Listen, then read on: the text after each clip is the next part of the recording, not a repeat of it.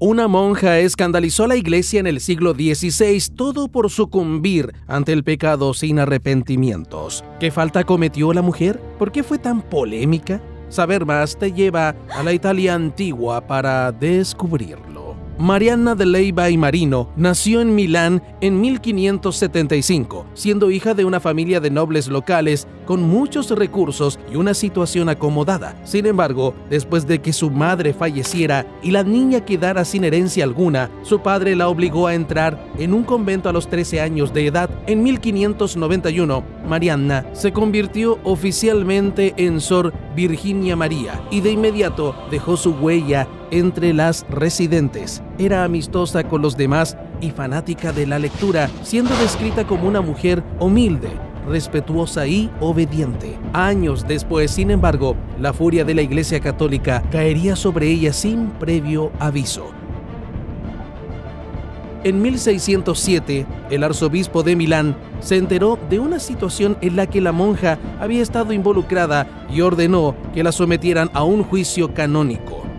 En la interrogación, Sor Virginia María comenzó a hablar de que las fuerzas diabólicas se habían apoderado de su cuerpo y que había perdido su voluntad por un impulso irresistible.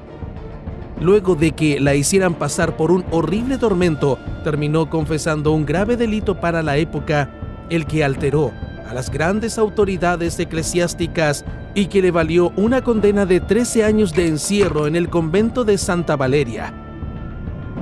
De un momento a otro, la monja perdió toda la credibilidad ante su gente y su vida se transformó en un verdadero infierno terrenal.